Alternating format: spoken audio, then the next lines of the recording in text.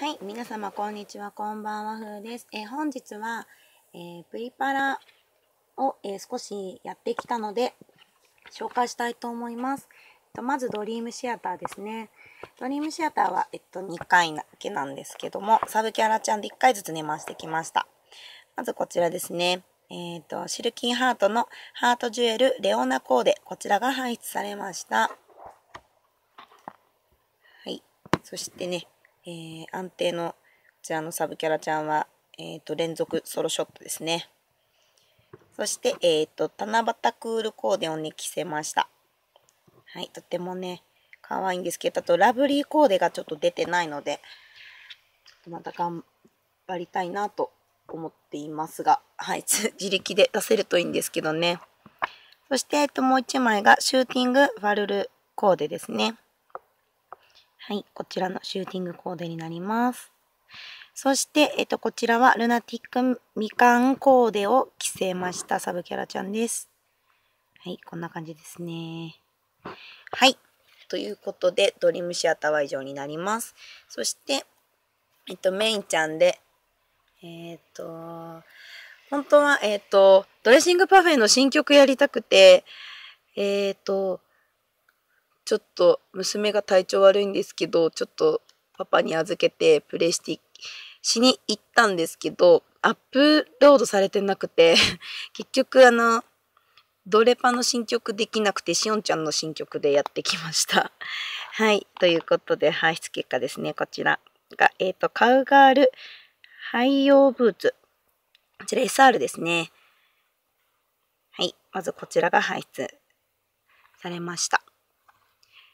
と、ほとんど、え、っと、紙に段のこう出てくるのが同じやつしか出てこなくて、なかなかね、あの、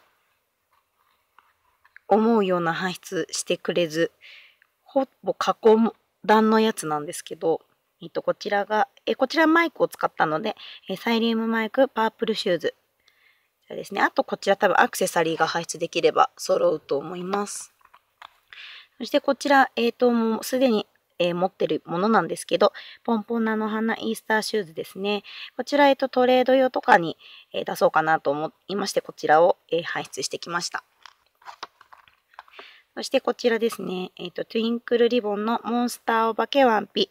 えこちらは、えっ、と、お化けワンピだけね、排出できなかったので、すごく嬉しかったですね。そしてこちらが、えっ、と、トゥインクルリボンのポップコーンパンプス。そしてこちらですね。えっ、と、神二段の、えー、フォーチュンパーティーのクロスウォークスカイブルーシューズ。こちら、えっ、と、シューズはね、まだ未排出だったので、すごく嬉しかったですね。はい。という感じで、えっ、と、以上が搬出になります。はい。ということで、えっ、と、今回の配置結果は以上になります。ちょっとですね、娘が体調が良くなくて、ツイッターとかにはね、あげたんですけど、今、夏風邪流行ってて、えっと、溶連菌と RS ウイルス、まあ、これはね、一年中流行ってるやつなんですけど、えっと、併発していました。